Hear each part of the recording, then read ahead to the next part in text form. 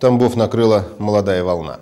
Под таким названием в выставочном зале Союза художников открылась выставка. На этот раз ее участниками стали не мэтры-живописцы, а те, кто в самом начале своего творческого пути. У каждого из них уже есть свои профессиональные успехи, участие в персональных, групповых областных, региональных и всероссийских выставках. Что сегодня интересует современного художника и что он хочет сказать своим творчеством, узнала Елена Хромова. Денис Козловский – один из самых молодых членов Союза художников. Ему всего 28. Его работы сразу бросаются в глаза. Взять хотя бы отражение. Вблизи рисунок трудно разобрать, он как смешанная палитра красок. Но стоит рассмотреть его на расстоянии, и сюжет сразу наполняется содержанием. В работе Денис непредсказуем и эмоционален. И эти розы тому подтверждение. Сорвал розы, срезал, поставил их в вазу сидел, э, хотел размешать краски, но что-то мне было э, как-то лень, и я решил э, сразу впечатление, чтобы не терять, пальцами намазать и на одном дыхании где-то часа за два сделал это вот небольшую работу. Исторические события – одна из любимых тем Дмитрия Салычева. Он живет и работает в столице. Каждой своей работой скульптор пытается передать суть и содержание событий. Со студенческих лет ему нравилось изучать судьбы простых людей. На выставке представлено несколько его скульптур. В поисках истины кулачный боец. Каждую свою работу Дмитрий обдумывает, наполняет смыслом, действием и жизнью. Но к скульптуре он пришел не сразу. У меня был протест против скульптуры какое-то время. Я стал живописцем, то есть изначально. И уже потом, в зрелом возрасте, как бы в возрасте где-то 23 лет, я уже как бы понял, что скульптура это все-таки мое. Как бы, и начал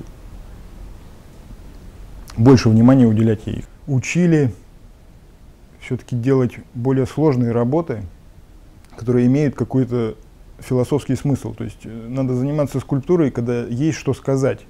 Как бы, когда нет нечего сказать, то зачем этим э, заниматься? Как бы? Это так же, как и стихи писать, так же, как и фильмы снимать. На выставке «Молодая волна» немало полотен, посвященных старому Тамбову. Совсем скоро он станет историей.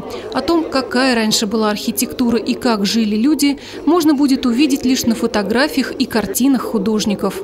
Эта тема волнует и новое поколение живописцев. Фрагменты родного города они стараются запечатлеть и сохранить не только в своей памяти, но и в памяти других людей. У Елены Ланиной Тамбов показан на контрасте. Вот так сейчас выглядит улица Коммунальная или, как ее называют, Тамбовский Арбат. А так раньше выглядела деревня Плетни Рассказовского района. У нас в городе, к сожалению, и не только в наших городах приоритет становится на детитажки, и поэтому я стараюсь успеть захватить те островки природы, сельского пейзажа, которые еще уцелели.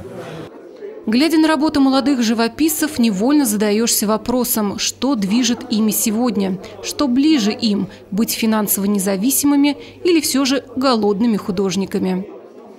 Ну, это вот как раз испытание для художника. Не только для молодого, но и для всех возрастов. А, конечно же, сейчас вот время требует э, заработка, денег, но человек все-таки, мы все знаем про всех самые великие художники все-таки, они э, малую часть делали на продажу, коммерческие работы, но в основном это был поиск, это сложная тяжелая работа, недоедание, недосыпание.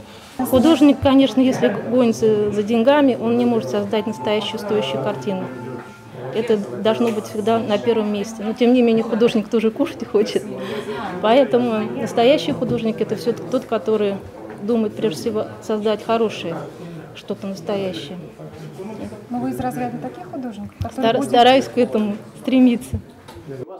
В кругу творцов нередко можно услышать, что истинный художник должен передавать на холсте то, что видит. Не смог передать – не порть холст. Эти холсты явно не испорчены. Через каждую свою работу художники словно исповедуются. И картины помогают им высказать то, что у них наболело внутри. Право понять и принять эту исповедь остается за зрителем. Елена Хромова, Сергей Фролов, Александр Щеднов. Область новостей.